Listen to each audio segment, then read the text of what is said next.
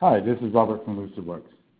In today's Fusion Learner Series, I'll be discussing how to configure Active Directory security trimming for a SharePoint 2013 collection. I'll be going over a brief overview of security within Fusion, uh, SharePoint permissions, uh, security trimming, and then finally a demo. This is our architectural overview of Fusion. we will be concentrating on the security layer that protects access to our collections through security trimming. SharePoint permissions, just a high level. Um, there's group and individual user permissions. So this can be set explicitly for pages on your SharePoint site or on document lists. So permissions are, are usually inherited from the parent site uh, unless you explicitly uh, set permissions. Um, read permissions are needed to crawl uh, and index your SharePoint site and also uh, to search content. The, uh, the concept behind security trimming is to mirror the uh, grouping user permissions um, that, uh, that are present in your SharePoint site uh, on, your, in, on, on, the, in, on the data that's being indexed. So we use Active Directory as um, to compare the, the permissions of the uh, users who, who's logged into Fusion to uh, what they have access for to in the SharePoint collection. So any changes to the permissions within your SharePoint uh, site or, or document list will require re-indexing um, to, to make those changes present within your search index. This is a quick overview of our Fusion LDAP authentication.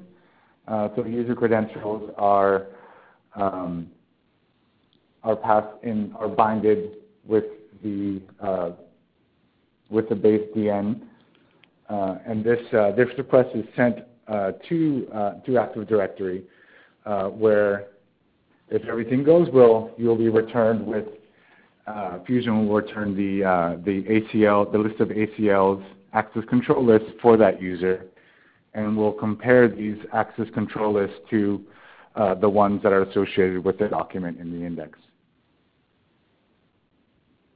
So for this demo, I'll be using this sample SharePoint site that I created. Um, it contains uh, a master site, uh, LucidWorks, with uh, two subsites, um, human resources and engineering each site has, has a, a, a, set number of documents. It's a very uh, basic example to kind of demonstrate um, demonstrate how the permissions are carried over from SharePoint uh, to to the index. So let's take a quick look at who's it shared with. So I have uh, I created two groups.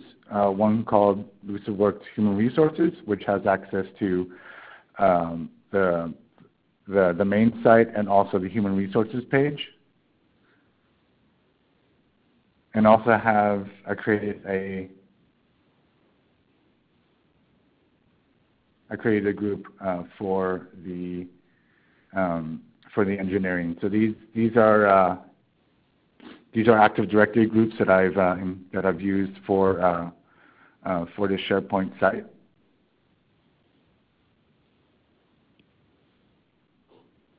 let's go ahead and uh, let's go ahead and get started. So I'm going to log in as admin.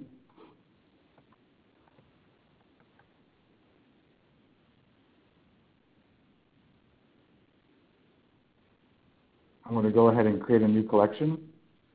I'll name this, since I'll be indexing from SharePoint 2013, I'll name this SP 2013.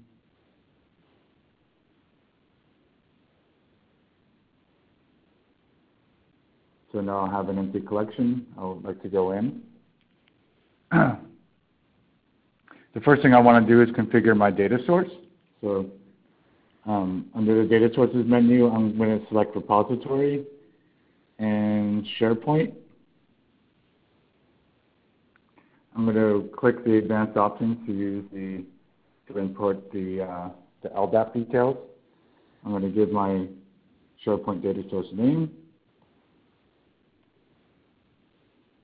Pipeline, I'm going to use um, the document parsing pipeline. Let's take a look at the stages. So we have the, Apache Tika parser, which is the most important stage. This will, the Tika uh, parser allows documents in, different formats to be parsed, uh, such as Word documents, PDFs. So we're able to extract that content from, from the documents, which will be helpful in uh, when I crawl my, my document libraries in my site.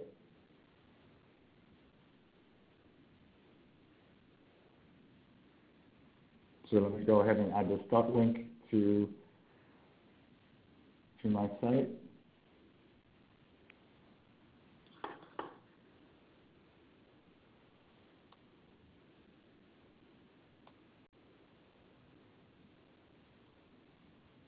I want I want to crawl the entire site, so I'm not going to set a depth.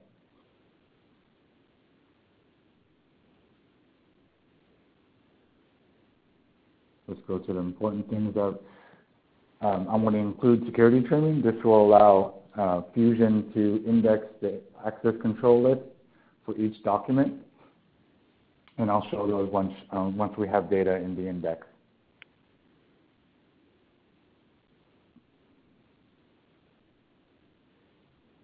So open the fetcher. I'm going to I have my um, my crawl user credentials.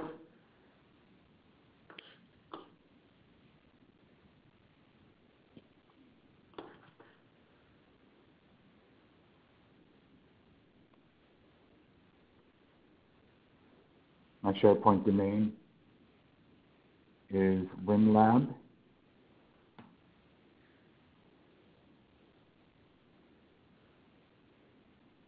and everything looks good. I'm going to add the, uh, the LDAP host.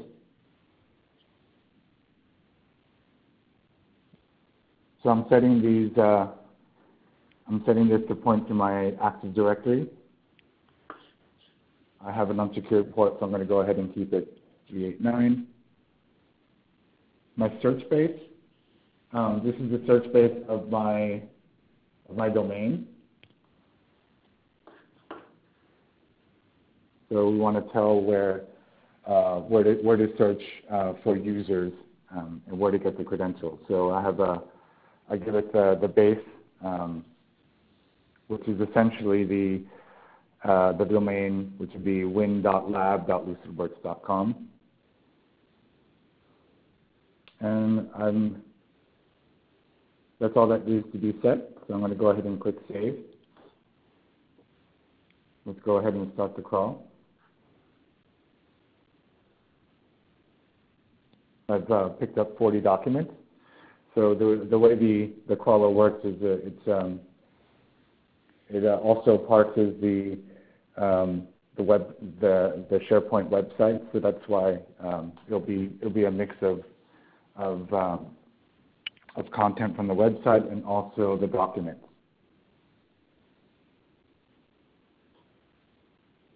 Good. So let me do a, quick search. and we see that, uh, that the site has been indexed. Let's look at some of the fields. Um, the field we want, um, where we're going to be using, comparing the uh, ACLs is uh, this ACL field. Here we have the, uh, the SharePoint groups and users who are allowed access to this particular document. I'm going to go ahead and modify my query pipeline. I go into query pipelines. I'm going to use a, uh, the one that Fusion created for my collection, which is SP 2013 default. I'm going to go ahead and add the security trimming stage. Um, we're not going to send any condition. We're going to have it run all the time. Right away, you see the search widget is updated uh, with zero results. That is because uh, there is no user admin um, who has access to, uh, to my collection. So I'm actually going to move, uh, move the stage right before Query Solr. Okay, so to test the to trim documents, I'm going to go ahead and log out uh, of the admin.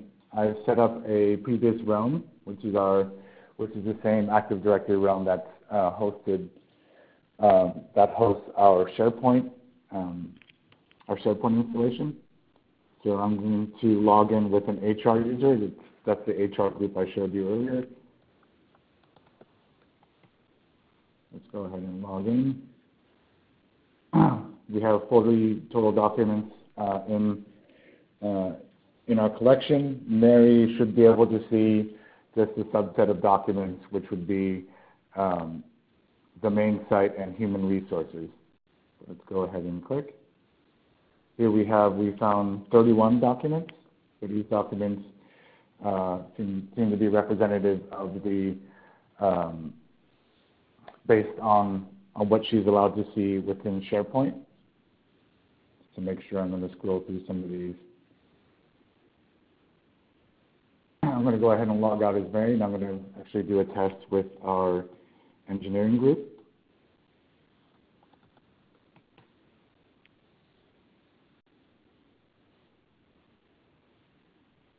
Select the same collection.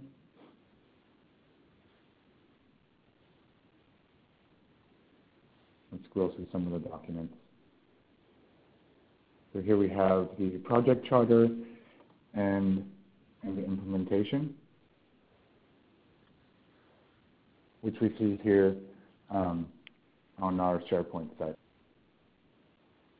Great, so that concludes uh, my demo of Active Directory security trimming for your SharePoint. I invite you to visit our other videos um, on our YouTube channel. Thank you for your time.